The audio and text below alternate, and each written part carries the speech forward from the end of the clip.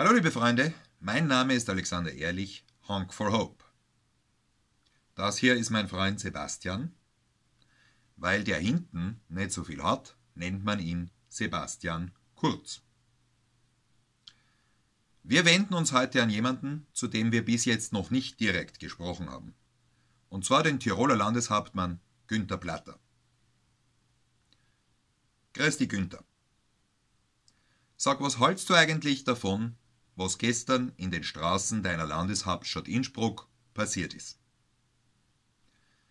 Tausende Menschen aus Tirol hatten das dringende Bedürfnis, am Todestag von Andreas Hofer, dem 20. Februar 2021, zum Gedenken an den großen Tiroler Freiheitshelden ein Zeichen zu setzen und seine Werte Freiheit, Rechtmäßigkeit und Glauben hochzuhalten. Ursprünglich wollten sie das in Form einer Kundgebung am Landhausplatz tun. Die Polizei hat diese Kundgebung untersagt, den ausführlich und gut argumentierten Widerspruch der Veranstalter ignoriert. Das führt mich zu der Vermutung, dass es einfach nicht gewünscht war, eine politische Kundgebung an diesem Tag zu haben. Zumindest keine regierungskritische, denn Kundgebungen der Antifa wurden ja nicht untersagt. Okay, wir sind nicht stur und wir wollten nicht um jeden Preis unseren Willen durchsetzen. Deshalb haben wir gesagt, gut, dann lassen wir die Politik aus dem Spiel. Reden wir nicht über heute, beschränken wir uns auf die Ehrung von Andreas Hofer und machen das in Form einer gemeinsamen Andacht und einer anschließenden Gedenkprozession.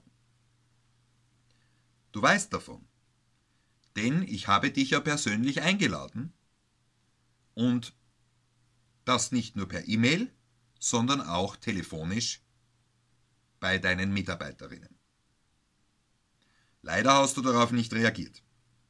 Mir wurde gesagt, du seist schon eingeplant zu diesem Zeitpunkt für eine Andreas Hofer Gedenkveranstaltung. Ja, ich kann mir schon vorstellen, dass die geplant war für den Nachmittag. Das erklärt nämlich, warum die Polizisten die vielen tausend Tiroler, die dann ohne einen geordneten Rahmen und ohne meine Anwesenheit zum Berg Isel gehen wollten, nicht hingelassen haben. Die Polizei hat alles versucht, um zu verhindern, dass irgendjemand den Berg Isel erreicht. Wenn du mich fragst, kann das mit Gesundheit nichts zu tun haben. Denn am Berg Isel gibt's jede Menge Platz. Da kann man wunderbar die Mindestabstände einhalten. Da kann man wunderbar sich ausbreiten, auch viele hundert Menschen. Es kann also wirklich nicht um Infektionsschutz gegangen sein. Meine Vermutung, ohne es genau zu wissen, die Leute wurden abgehalten, dorthin zu gehen, weil du dort einen Kranz niederlegen wolltest. Ja, wieso hast du das dann nicht gemeinsam mit uns getan? Stattdessen hast du erstens die Menschen gehindert, auf den Berg Isel zu gehen und zweitens deine eigene Kranzniederlegung später bei Dunkelheit mitten in der Nacht durchgeführt.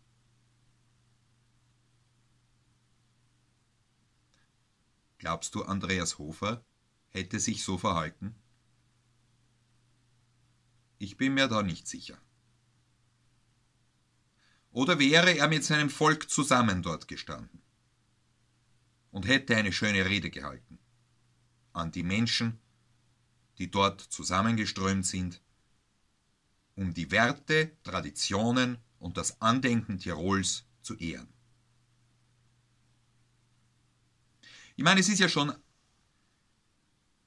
sehr fragwürdig, dass die Polizei in Tirol in Zusammenarbeit mit dem Magistrat entgegen dem Versammlungsgesetz und entgegen dem Gesetz vom 25. Mai 1868, sich anmaßt, in die inneren Angelegenheiten einer Kirche einzugreifen und eine religiöse Feier zu verbieten. Das noch dazu mit einer Strafandrohung von 15.000 Euro. Ist es jetzt in Tirol nicht mehr erlaubt zu beten? Ist es in Tirol nicht mehr erlaubt, die Tiroler Fahne zu tragen? Hast du das mitgekriegt, diese Bilder? Polizisten springen aus fahrenden Autos, stürmen auf Menschen zu, die die Tiroler Landesfahne tragen, mit zwei Meter Abstand, nachgemessen, weil, ja, die Fahne zwei Meter breit war.